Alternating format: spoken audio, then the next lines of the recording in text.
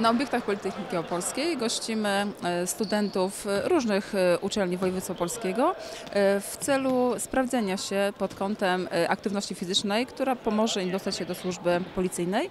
Nasza reprezentacja Politechniki Opolskiej składa się z pięciu zawodników, jak inne pozostałe. Są to studenci Wydziału Wychowania Fizycznego z drugiego stopnia, z pierwszego semestru. Turniej jest zorganizowany dla wszystkich studentów uczelni wyższych, jeśli chodzi o województwo opolskie. No i tutaj studenci mogą zobaczyć, z czym e, zmaga się osoba kandydująca, e, która chce wejść do służby policji. Jest to test sprawnościowy. To są dokładnie te same testy, które osoba, która chce wejść do, do opolskiej policji, musi te testy zdać po prostu. Później jest udzielanie pierwszej pomocy e, i oczywiście test wiedzy, 40 pytań, jedna prawidłowa odpowiedź.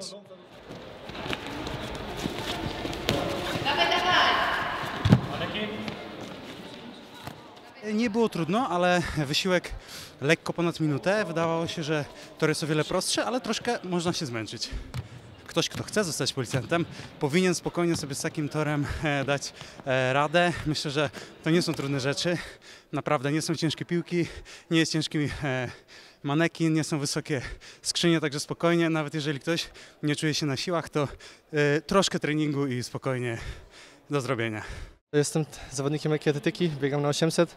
Myślę, że taki tor to jest nasz naturalny trening praktycznie codziennie sprawnościowy, więc wiedziałem mniej więcej jak tu robić pewne rzeczy. Jedyne co tutaj było najtrudniejsze, wydaje mi się, że ten manekin był, był trochę śliski, mógł się tam gdzieś wyślizgnąć. A tak to generalnie ok. Jak dla trenujących zawodników to myślę, że spokojnie. Ale, ale czas i tak nie był jakiś rewelacyjnie na, rewelacyjny jak dla mnie, więc myślę, że można tu jeszcze dużo poprawić.